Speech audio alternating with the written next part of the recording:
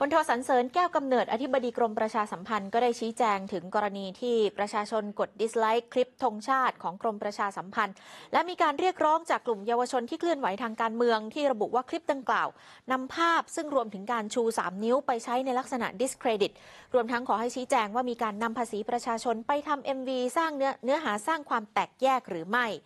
ซึ่งอธิบดีกรมประชาสัมพันธ์ระบุนะคะว่า คลิปดังกล่าว กรมประชาสัมพันธ์ไม่ได้เป็นคนจัดทำและไม่ได้จ้างใครทำเพียงแต่บรรดาข้าราชการหลายคน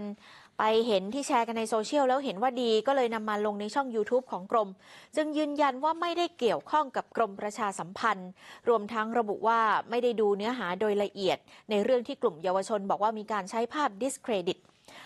ล่าสุดคลิปดังกล่าวไม่ปรากฏในช่อง YouTube ของกรมประชาสัมพันธ์แล้วค่ะ